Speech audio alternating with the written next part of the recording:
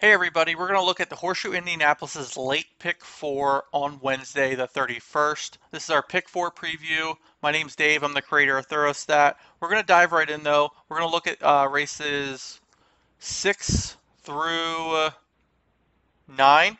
And here at Horseshoe, uh, the the last part of the card has some quarter horse races. So this is the race nine isn't the last race, it's a race after that. So you're just going to be mindful of that. Uh, and for those who have not played a pick four, don't play it frequently, it's a 50 cent base wager. So if you played one horse in all of these races, it would cost you 50 cents. Uh, we're playing an $84 ticket.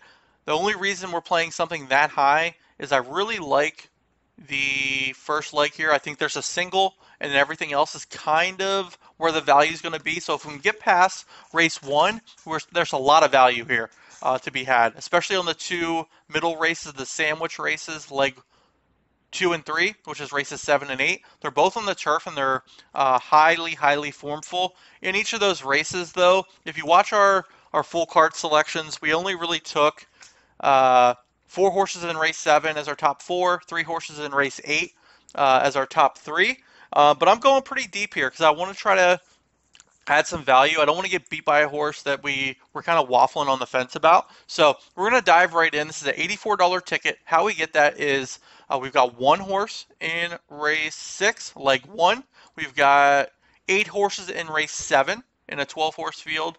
We've got seven horses in race eight, and we've got three horses in uh, race nine, which is leg four. So it's going to be one times eight times seven times three uh, times 0.5 for 50 cents gives you an $84 ticket. Diving right in though, uh, race six is a state bred maiden special race. Uh, six furlongs in race six to start the the late pick four. Uh, girls are tougher out of Skylord. It's going to be super tough to beat. Um, third off of a layoff, ran in a stakes race, dropping in class to break its maiden. So I don't see how any horse is beating this horse in uh, this field. It's our top selection from our main picks. Uh, I'm not going to waste much time on there. We're singling the one. We're going all in on this one. Want to pick up the pieces there and then move into the last uh, section of the card here. Our top selection, so we're moving into the turf race, uh, race 7, mile and a 16th allowance race at Horseshoe Indy on Wednesday. Race 7 is a 12 horse race. We've got eight horses here. Uh, the horses we don't have are going to be the 11, the 1, the 3, and the 8. Uh, we've got pretty much everyone else here, though. Uh, the horses that are going to be the is our top pick is Helen's Well. Uh, while I like her, I think she's beatable, uh, but she's our top selection from the from the rest of the card. Goodbye Kyle is a, a long shot that I like to round out our top four. The 12, the 7, uh, Jenny Lind is our in our top four that we gave out, and Habuya is also in our top four. We had 2, 12, 7, and 5 in this race, but I'm going to go a little bit deeper. We're going to go 2, 3, 4, 5, 6, 7, 9, and 12 uh, for eight horses in this race. There's tons of value.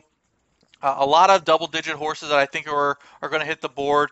If if the favorite wins uh, or eventual, the eventual favorite is going to be Helen's Well, our top selection. Great. If any of these horses scratch out, which is something I didn't cover in this ticket so far, say the 12, we have the 12, the 12 scratches goodbye Kyle. We'll just get the post time favorite. So say three of these horses scratch, we'll get the post time favorite three more times. So if it's the two, we'll get the two four times. Not a bad, not a bad uh, trade off, but I think there are some horses that will be running late on this turf that can run down the two. But if not, we've got the two. Uh, morning line four to one, and the odds you may get better odds too in this sequence, just because there's so many horses in that field. Looking at race eight, we've got seven horses here. Our top selection for us, uh, we've got 7, 11, and 4 uh, as our top selections from the full card analysis. The 7, uh, I think, will sit off of the, the pace a bit. Morning line favorite again is the 7 Jack Summer, which will be our top selection from our full analysis. The 11 Pantalones en Fuego uh, will be running late. And the 4 Band of Roses is the front end rabbit. We'll hold on uh, morning line 15 to 1.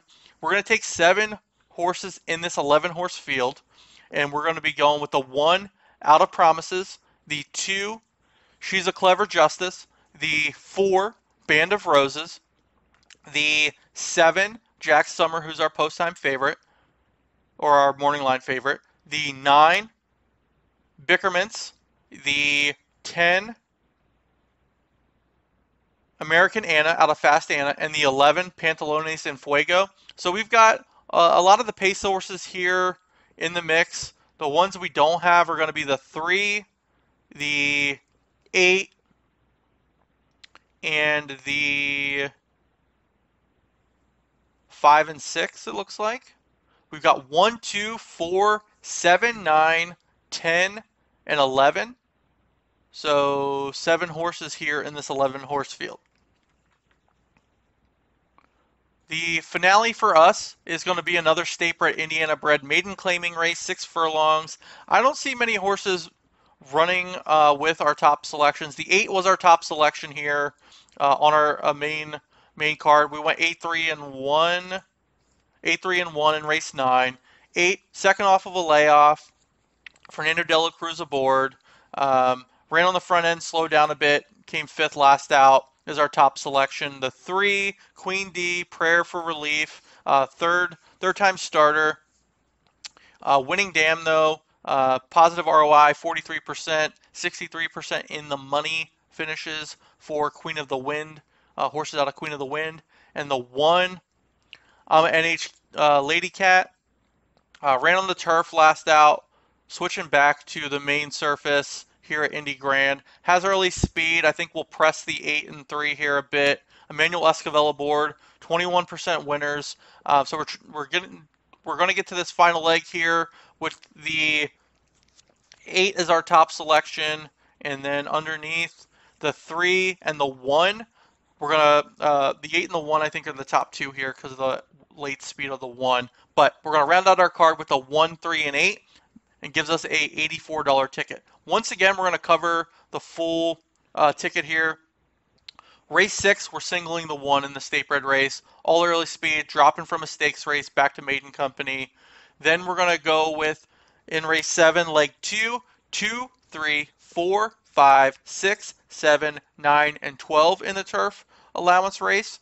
In the next turf race, there's two sandwich turf races here. Race eight, uh, we're going with the 1, 2, 4, 7, 9, 10, and 11. Uh, the 7's the, the uh, top choice there. And then we're going to round out the card with the 1, 3, and 8. The 8 is our top selection there as well. Uh, thank you for watching. $84 ticket. Good luck on, on Wednesday in this late pick 4 uh, at Horseshoe. Thanks again for watching, and good luck on Wednesday, and let's cash this ticket.